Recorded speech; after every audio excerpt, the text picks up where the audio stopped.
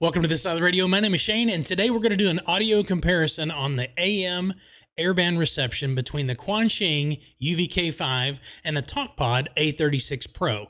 Which one's better? We're going to find out together. And I've got uh, two tests. One's going to be with the stock antennas, and the other is going to be uh, with the uh, TID Radio 997971. Well, I'll find it and put it along the bottom here. But anyway, let's get into the video and check out the the reception and the audio quality between these two between these two HTs.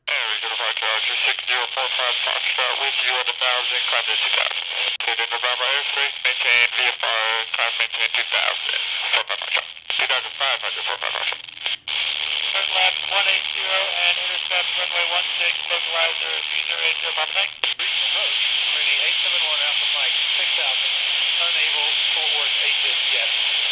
Regional approach, Hawker 314 Charlie Golf, leveling uh, 9000 with Joey. Uh, Fort Charlie I got a 6 for 4. Nine, uh, Fort Golf. With that, Big Strap 201. 190, Big Strap 201. One, 300, Big Strap 201. So long. Climbing 6000, heading 030 and maintain 3000. So, what the traffic and 5 running 1 half and 1 back here. 15, 2000, left hand, above zero. I will keep 2000. Knowing 5, 4000, November 2, Charlie Alpha. Zero, 10,000,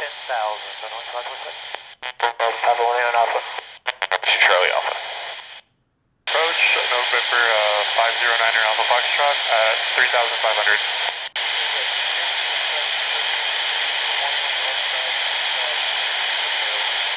Afternoon, Cap 4202, 1500, climbing 2000, 1 heading 1000. Now, Cap 4202. Direct 510 Alpha. All right, well, there you have it. There are the results of the A36 Pro from TalkPod and the Quansheng UVK5 AM audio airband receive. Uh, I did notice that on the TalkPod with the bigger antenna, it was pulling in a lot of some more of the weaker signals, and the stronger signals were that much more stronger. I didn't notice the same results with the Quansheng.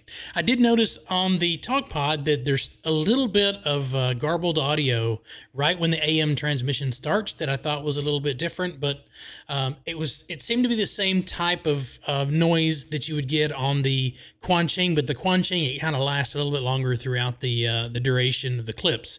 But as always, thanks for joining me today. I appreciate it. This is a short one. Just wanted to give you a comparison of the two. If you made it this far, hit the like button. Maybe uh, shoot me a comment. Let me know which radio you think's the best. I got a full review of the A36 Pro coming, and uh, there'll be links down to both uh, radios if it's something that you'd like to purchase. Well, thank you so much for joining me. 73T. We'll see you on the next one.